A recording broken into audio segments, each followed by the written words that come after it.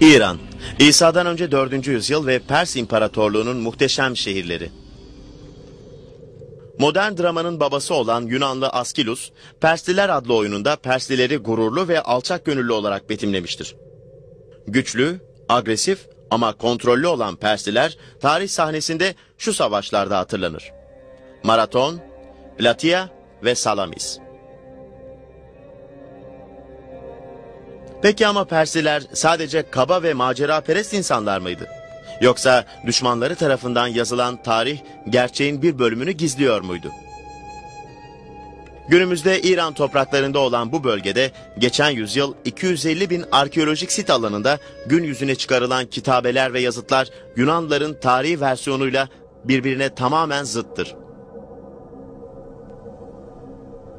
Yüzyıllar boyunca kayalara, taşlara yazılı hitabelerin çözülemeyen şifrelerin yavaş yavaş gizemi çözülmektedir.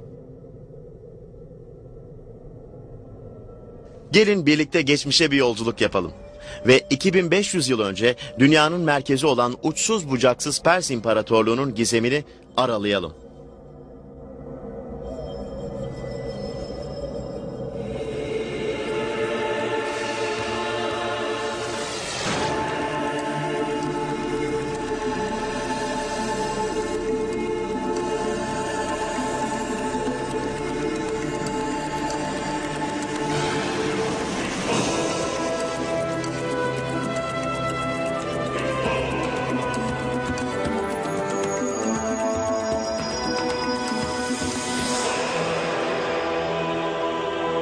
Arkeolojinin gizemi. Krallar Kralı'nın mekanı. Profilden çizilmiş bu figürlerde değişik kıyafet giymiş insanları, egzotik hayvanları, fil dişlerini, çömlekleri, giysileri ve aslan derilerini dünyanın uzak yerlerinden buraya getirmiş hediyeleri görebiliriz. Arkeologlar Persepolis'te yaptıkları kazılarda buldukları ilk rölyefler karşısında şaşkınlığa düşmüştür. Neden dünyanın çeşitli yerlerinden gelen insanlar tek bir eser üzerine işlenmişti? Ama arkeologlar yavaş yavaş cevapların ipuçlarını bulmaya başlamışlardı. Fil dişi ve okapi taşıyan insanlar Etiyopyalılardı. Tek örgüçlü develerin yanındakilerse Araplardı. Noktalı başlık giyenlerse Aramilerdi. Asurlular ticaret arabalarıyla betimlenmişti. Burada ise bir eşeğin yanındaki Hintliler görülmekteydi. Merdivenlerde 23 ulustan insan betimi yapılmıştır. Karşılarında ise tarihin gördüğü ilk büyük imparator olan Pers İmparatoru ve bunun yanında da başkentte toplanmış insanlar bulunmaktaydı.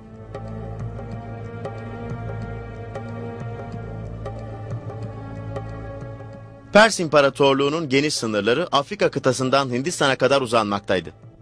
İmparatorluğun toprakları verimli Mısır ve Sudan topraklarına da sahipti. İmparatorluk Avrupa, Arabistan, Babil'den doğuda Özbekistan ve Güneydoğu'da Hindistan topraklarına kadar geniş bir coğrafyaya hükmediyordu.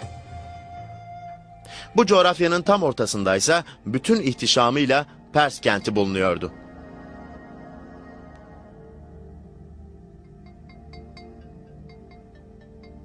Bu kitabeler uzun yıllar arkeologlar için gizemli bir bulmaca oldu. Bunun yanı sıra bu kitabeler üç farklı dil kullanılarak yazılmıştı. Bir İngiliz subayı olan Sir Henry Rawlinson, Beyhas'ın dağlarının yükseklerinde bulunan bir kitabenin kopyasını çıkarmayı başardı. Bu işin en kolay kısmıydı. Bu yazıları deşifre edebilmesi için tam 10 yıl gerekmişti. Bu yetenekli arkeoloğun çalışmaları sonucunda 1835 yılında bulmaca çözülür ve peşinden gelen arkeologlar karşılarında Perslilerin tarihlerine, yaşayışlarına açılan yepyeni bir dünya bulurlar. Yunan tarihçi Herodot Persliler için şöyle yazar. Persliler yabancı kültürlere diğer toplumlardan çok daha çabuk adapte olurlar. Bu cümle biraz küçümseme içerse de Persliler hakkında pozitif ve etkileyici bir şeyi açığa çıkarır.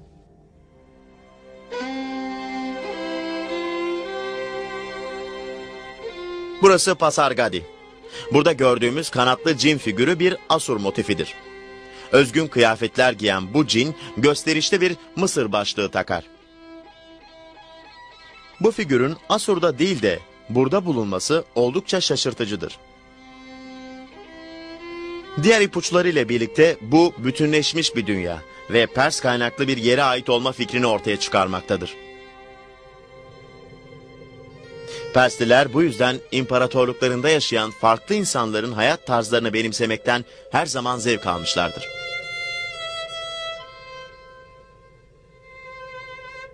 İsa'dan önce 553 yılında kurulan Pasargadi kenti imparatorluğun ilk başkentiydi. Daha sonraki krallar Susa ve Persepolis kentlerini tercih etmiş olsalar da bu şehir ihtişamını hiçbir zaman kaybetmemiştir. Bunun gibi kitabeler o dönemden günümüze gelmeyi başardı.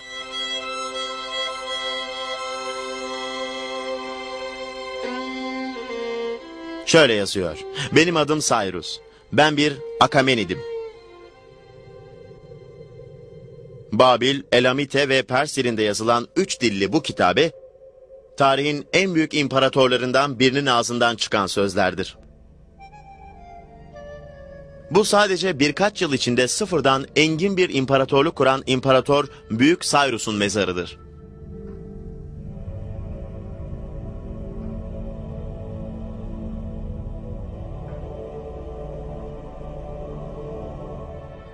Cyrus döneminde Asya ekonomisi büyüyordu ve insanlar istikrar istiyordu.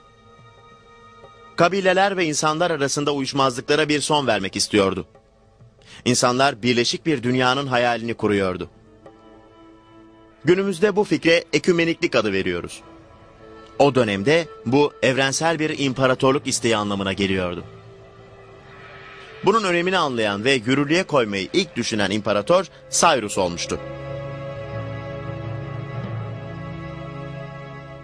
Pers İmparatorluğu'nda tanrılara bir adak adamak istiyorsanız işiniz gerçekten çok zordur. Çünkü burada tapınak bulamazdınız.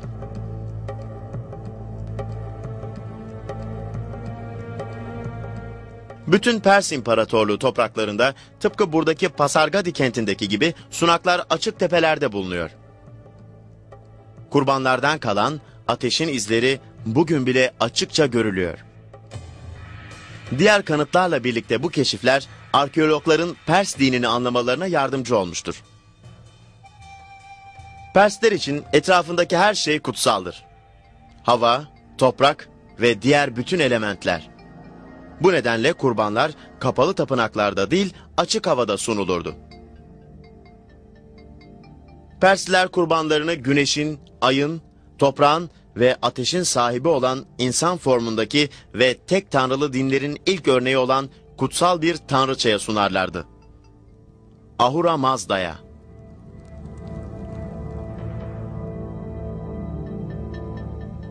Persler imparatorluklarında yaşayan diğer insanları Ahura Mazda'ya tapmaları için zorlamazdı. İnsanlar inanışlarında özgürdü. Bu sunaklarda istedikleri tanrıya kurban sunabilirlerdi.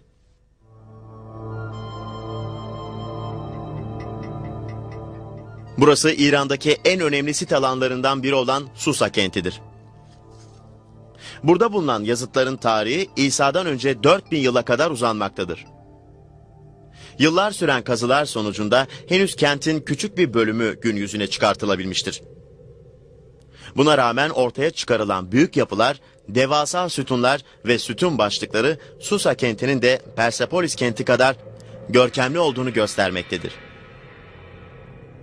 Tarihi kayıtlar bize Susa kentinin İsa'dan önce 512 yılında Kral 1. Darius himayesinde büyüdüğünü ve Persepolis'te bir başkent kimliği kazandığını göstermektedir.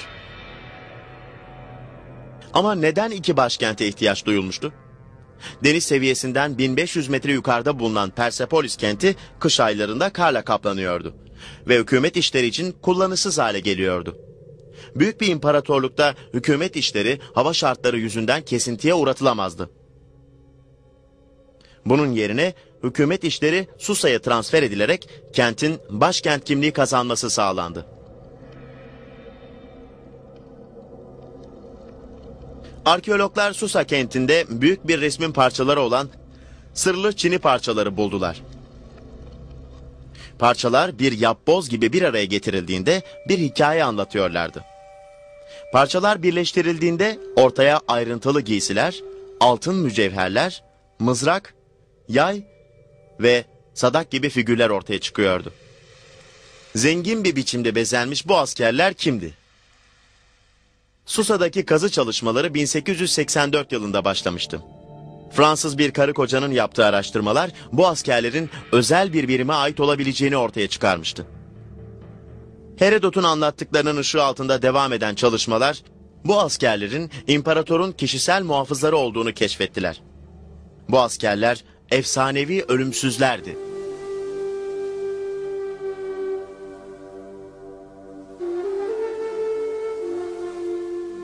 İmparatoru koruyan 10 bin muhafız bulunuyordu. Savaş sırasında biri öldürüldüğünde bir diğeri onun yerini alıyordu. Ve sayıları hiç değişmiyormuş etkisini uyandırıyordu. Bu nedenle isimleri ölümsüzlerdi. Korudukları kral birleşik bir imparatorluğu, güçlü ve özgür bir düzeni temsil ediyordu.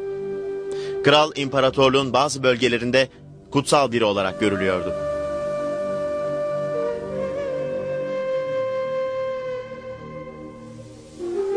Mısır'da yapılan fakat Susa'da bulunan bu heykelin kaidesindeki kitabede şöyle yazar.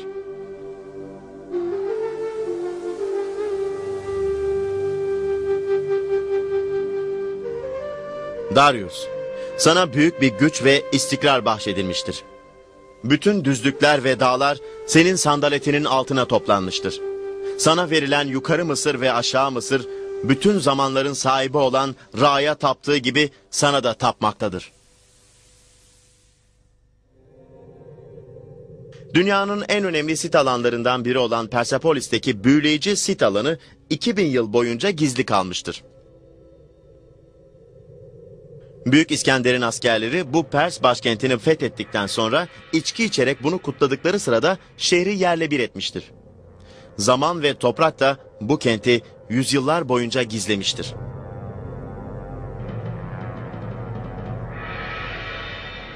Kazılarda ortaya çıkarılan bölgelerden biri de sarayın yer aldığı bölümdür. Sarayın çevresinde ise hizmetçileri, evleri, sanatçıların atölyeleri gibi krala hizmet edenlerin bulunduğu yapılar yer almaktaydı. Bu yapılar hala gizemini korumakta ve sırların açığa çıkarılmasını beklemekte. Bu altın levha ise gerçek bir hazine. Bir ferman niteliğinde olan bu tablet arkeologlara saray kenti olan Persepolis'in inşaat evreleri hakkında ayrıntılı bir bilgi veriyor. Arkeologlar bu yazıtın tercümesinin ışığı altında kazılan her yeni bölgenin hangi imparator döneminde yapıldığı hakkında bir fikir sahibi olabilmektedir. Ve bu fikirleri ışığında gizemleri açığa çıkarmaya devam ediyorlar.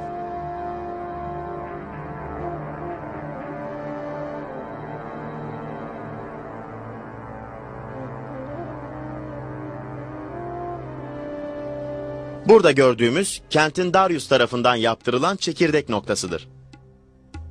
Bu bölge Darius'tan Yunanlar tarafından yenilgiye uğratılan oğlu Xerxes'e geçiş dönemi hakkında bilgi verir. Bu bölge ise tamamıyla Xerxes'e aittir. Bu arkeolojik sit bölgesinin geride kalan diğer büyük kısmı ise 3. Darius'a kadar uzanan diğer imparatorlar tarafından yaptırılmış ikinci bir şehre işaret eder. Bu keşifler Yunanların özellikle Askelus'un Persler adlı oyunundaki fikirlerini çürütmektedir. Askelus şöyle söyler. Artık Asya topraklarının insanları krala itaat etmekten vazgeçtiler. Bu imparatorluğa bağlılıktan vazgeçen insanlar artık Persliler tarafından yönetilmekten vazgeçmiştir. Kralın büyüklüğü artık sona ermiştir. Başka hiçbir şey gerçekten bu kadar uzakta olamazdı. Kral Askelus'un bahsettiği Kral Xerxes'ten sonra da kralın halefleri döneminde de Persepolis bütün ihtişamıyla büyümeye devam etti. Bu olay imparatorluğun çöküşüne değil, kötüye gidişine bile neden olmamıştı. Arkeologların deşifre ettiği bu kitabeler ve frizler imparatorluğun genişlemesinin ve büyüklüğünün kutlandığı bir anı tasvir etmektedir. Sadece bu bile bize imparatorluğun ne kadar büyük ve güçlü olduğu hakkında bir fikir vermekte. Bu Yunanların Persler hakkında bize anlattığı barbar imajla taban tabana zıttır. Arkeologlar bu tarihi kayıtları inceledikleri sırada çeşitli insanların delegasyonunu betimleyen portrelerle karşılaşırlar. İnsanlar yüzlerinde gurur ifadesiyle Persli efendilerinin düzenlediği bir törende ayakta durmaktadır. Kralların kralının önünde. Krala sundukları değerli ve sembolik hediyeler, özgürlükçü ve alçak gönüllü tavırlara sahip kralı tarihteki diğer imparatorlardan tamamen farklı kılan bir hikayeye işaret eder.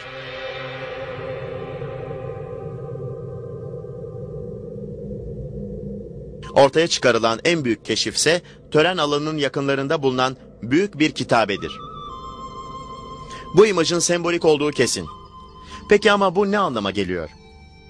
Arkeologların Pers yıldız bilimi ve takvimiyle ilgili yaptıkları çalışmalar bunun aslan takım yıldızının boğa takım yıldızının yerini aldığını ortaya çıkarmıştır. Bu ise baharın ilk gününü işaret eden Nevruz kutlamasını sembolize eder. Nevruz gününde insanlar bir araya gelerek dünyanın merkezi olduğunu düşündükleri bu yerde çadırlar kurarak imparatorluğun en büyük festivalini başlatırlardı.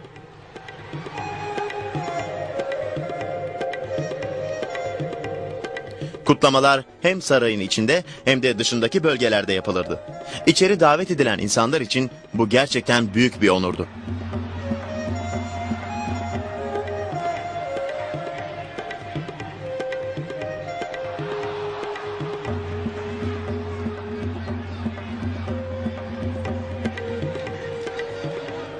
Persepolis Sarayı'nda kabul törenleri için halka açık iki büyük toplantı salonu bulunurdu. İlk salonun adı Apadana. İkinci salonun adı ise Yüz Sütunlu Salondu. İkisinin arasında ise krala ve danışmanlarına ait özel bir oda olan Tripilon yer alınırdı. Bunun arkasında ise kraliyet odaları mevcuttu. Sadece imparatorluk topraklarını temsil eden delege üyelerinin ve saray eşrafının saray odalarına girmelerine izin verilirdi.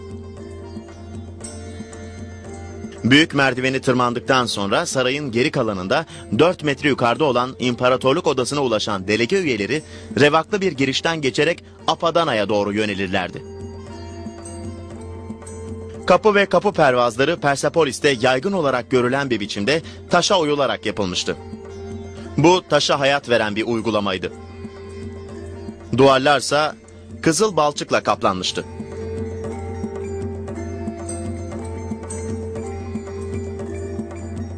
Kabul odası olarak da kullanılan Apadana 10 bin kişiyi ağırlayabilecek bir kapasiteye sahipti.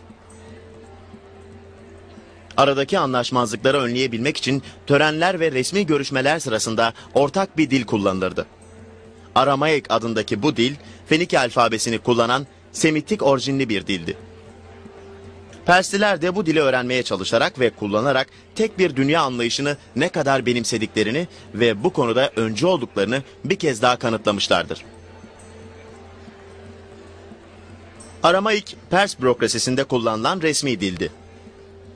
Bu imparatorluğu herkesin bir olduğu bir devlet kavramına yakınlaştırmak için önemli bir adımdı. Kral bu büyük törene başkanlık ettikten sonra konsey odası olan Tripilon'a çekilirdi. Tripilon'un kapısında yer alan ve kralın diğer insanlardan yukarıda oturduğunu gösteren bir kabartma içeride neler olduğu hakkında bir fikir veriyor. Kral burada güvendiği yardımcılarıyla buluşur ve birlikte imparatorluğunun geleceği hakkında önemli kararlar alınırdı. Konsey üyelerinin yeni yol yapımı, denizlerde yeni ticaret yolları bulma, ortak ağırlık ve ölçü birimleri kabulü, gümüş ve altından yapılan ortak para kullanma gibi önemli kararları bu salonda alınırdı.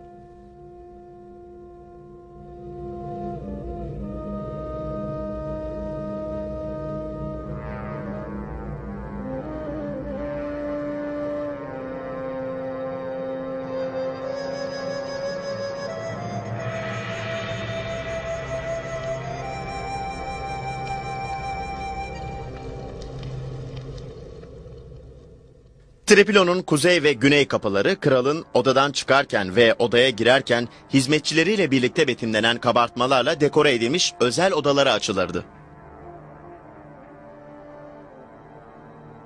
Kral ve saray eşrafı özel odalarına bu basamaklardan çıkarak girerlerdi.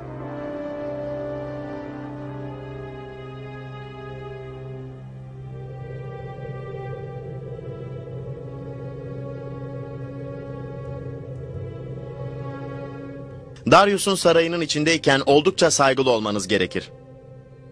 Yoksa kralın köpeğiyle karşılaşmanız muhtemel.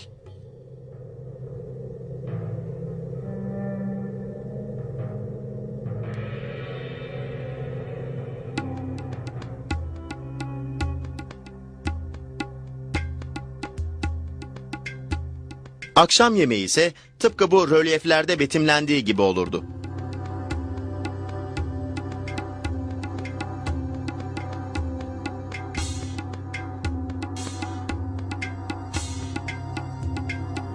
Burada bulunan tabak çanaklar oldukça değerli metallerden yapılmıştı ve kralın sarayında lüks yaşamı ayrıntılarıyla açıklamaktadır.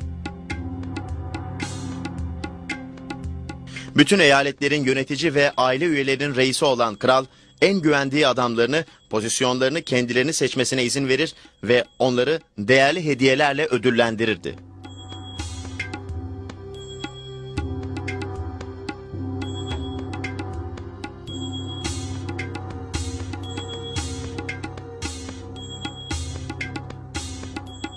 Tahran Müzesi'nde bulunan muhteşem bir altın kılıç bu hediyelere iyi bir örnektir.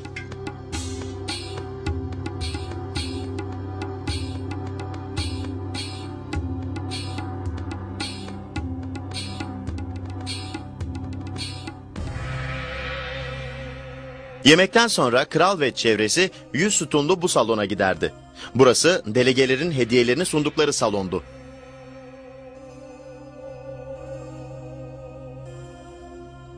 İmparatorlukta yaşayan insanların temsilcisi olan bu vekiller önce saray bahçesinde bekler ve daha sonra kralın izniyle resmi görüşmeler için yüz sütunlu salona davet edilirdi. Bu salon ilkinden daha büyük olmasına rağmen daha aşağıda yer alıyordu. Salon büyük revaklı bir girişe sahipti. Zengin bir biçimde dekore edilen bu giriş salonun ihtişamına ve kutsallığına işaret ederdi. Krala yaklaşmak için herkese izin verilmezdi. Kimi zaman kralı sadece bir an görebilmek sizin için yeterli olurdu.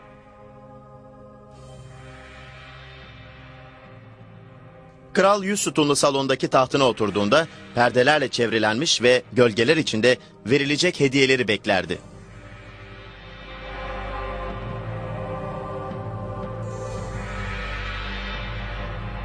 Ve kralın asasıyla yaptığı bir işaret konuşma iznini verdiğini gösterir. Bu rölyefte de gördüğümüz gibi sadece çok az kişi krala yaklaşabilir ve elbisesini öperek ona saygılarını gösterirdi. Salon adını 10 sıradan oluşan 100 sütundan almıştır. Salon 20 metre yüksekliğindeki taş ağaçlardan oluşan bir ormanı andırıyordu. Kralı görecek kadar şanslı olmayanlarsa Pers İmparatorluğu'nun ihtişamını sergileyen bu büyük salonda bulunmanın zevkini yaşayabilirdi. Sütunların tepesinde yer alan mitolojik hayvan figürleri kralı izler, onun topraklarını ve insanlarını korurdu. Arkeologlar Persepolis kentinin birkaç kilometre ötesinde yüksekliği 15 metreyi bulan kare planlı bir yapı daha keşfettiler. Bu yapının ne olduğu hakkında henüz bir görüş birliğine varılamamıştır. Binanın planıyla birlikte Nakşi Rüstem Tepesi'ne yakınlığı da kullanılış amacının gizemini göstermektedir.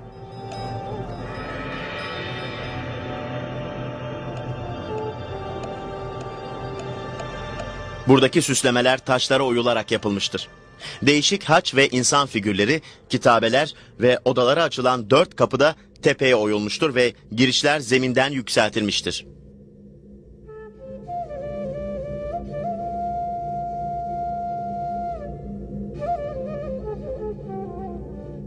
Bu yapıyla ilgili pek çok hipotez ortaya atılmıştır. Kimileri bunu bir ateş tapınağı, kimi bir gözetleme kulesi olduğunu düşünmektedir. Ama gerçeğe en yakın olan varsayım buranın kutsal metinlerin saklandığı bir kütüphane olduğudur. Yapının duvarlarına iyice yaklaştığınızda öne çıkan bazı figürleri görebilirsiniz. Arkeologlar bu figürlerin ölen imparatorları için yas tutan Persliler olduğunu ortaya çıkarmıştır.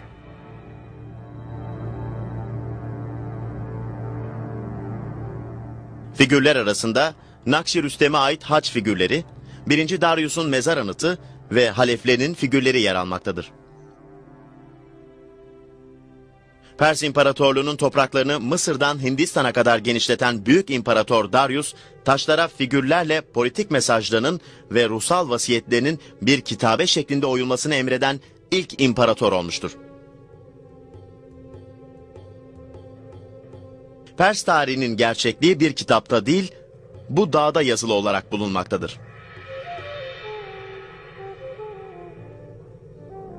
Yaptığım her şeyi iyi yapmaya çalıştım.